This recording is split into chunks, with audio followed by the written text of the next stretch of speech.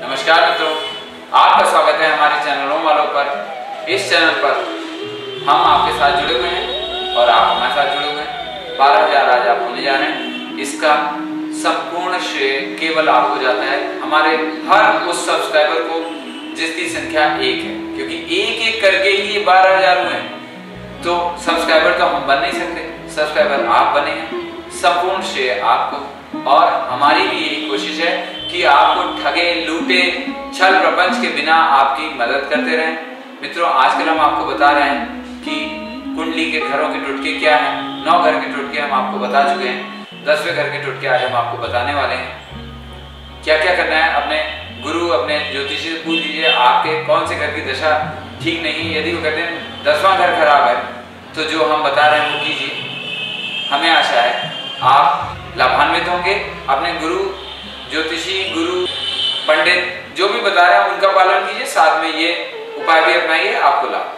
पहली बात, काले रंग का कपड़ा कभी मत पहने। पूरा काला तो बहुत बुरा है, काले की छाया भी है उसमें तो दूर रहिए एक और ध्यान रखना है, ऐसा हम लोग अक्सर कर देते हैं। किसी भी बाहरी व्यक्ति से अपने परेशानियों का ज़िक्र मत करिए। और ना उसे अपने दोष बताइए, ये गड़बड़ चल रही है, ये परेशानी चल रही कुछ नहीं बताइए।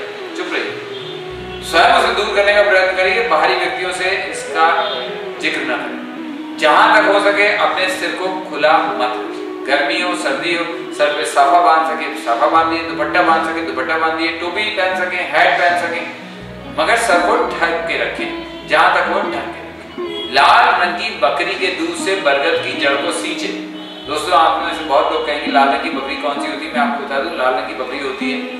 थोड़ा गेरुआ सा रंग होता है उसका। उस बकरी के दूध से बरगद की जड़ को सींचे।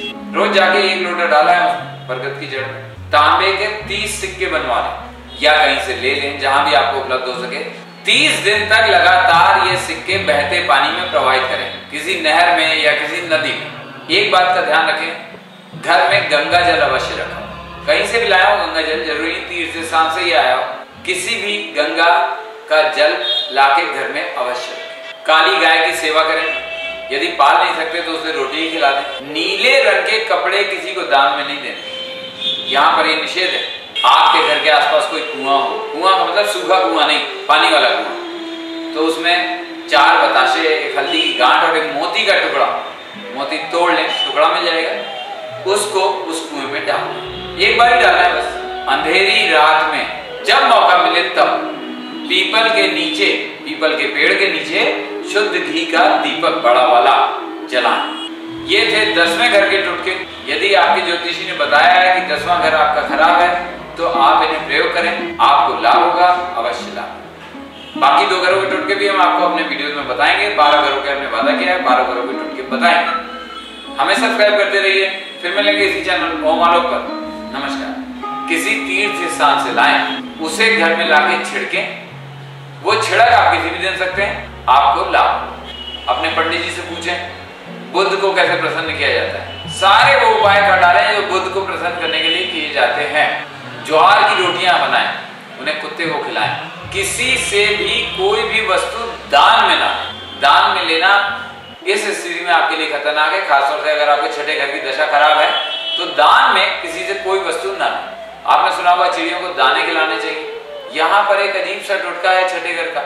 चिड़ियों को चीनी खिलाई चीनी चिड़ियों को खिलाने का लाभ होगा आपको छठे घर की दशा में। कभी विस्तार से बताएँगे लाभ क्यों होगा, लेकिन सुनने में हँसी आती है, मगर उपाय बहुत अच्छा है, चिड़ियों को चीनी खिलाओ